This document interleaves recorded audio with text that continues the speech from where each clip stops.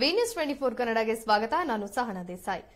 ಪತ್ನಿ ಕೊಲೆಗೆ ಯತ್ನಿಸಿದ ಆರೋಪದ ಮೇಲೆ ಬಂಧಿತನಾಗಿದ್ದ ಕುಡುತಿನಿ ಪಟ್ಟಣದ ಸಣ್ಣ ಪೀರಾ ಸಾಬ್ ಶನಿವಾರ ತನ್ನ ಅಂಗಿಯಿಂದ ನೇಣು ಬಿಗಿದುಕೊಂಡು ಆತ್ಮಹತ್ಯೆ ಮಾಡಿಕೊಂಡಿರುವ ಘಟನೆ ಬಳ್ಳಾರಿಯ ಜೈಲ್ನಲ್ಲಿ ನಡೆದಿದೆ. ಸಣ್ಣ ಪೀರಾ ಸಾಬ್ ಮೂರು ದಿನಗಳ ಹಿಂದೆ ಪತ್ನಿ ಮೌಲಾಬಿ ಜೊತೆ ಜಗಳವಾಡಿ ಆಕೆಗೆ ನೇಣು ಬಿಗಿಯಲು ಯತ್ನಿಸಿದ ಆರೋಪದ ಮೇಲೆ ಬಂಧನಕ್ಕೆ ಒಳಗಾಗಿದ್ರು ಜೈಲಿನಲ್ಲಿದ್ದು ಮಾನಸಿಕ ಖಿನ್ನತೆಗೆ ಒಳಗಾಗಿದ್ದ ಈತನಿಗೆ ಚಿಕಿತ್ಸೆ ಕೊಡಿಸಲಾಗುತ್ತಿತ್ತು ಶನಿವಾರ ಬೆಳಗ್ಗೆ ಜೈಲಿನಲ್ಲಿ ಆತ್ಮಹತ್ಯೆ ಮಾಡಿಕೊಂಡಿದ್ದಾನೆ ಎಂದು ಜೈಲಿನ ಅಧಿಕಾರಿಗಳು ತಿಳಿಸಿದ್ದಾರೆ.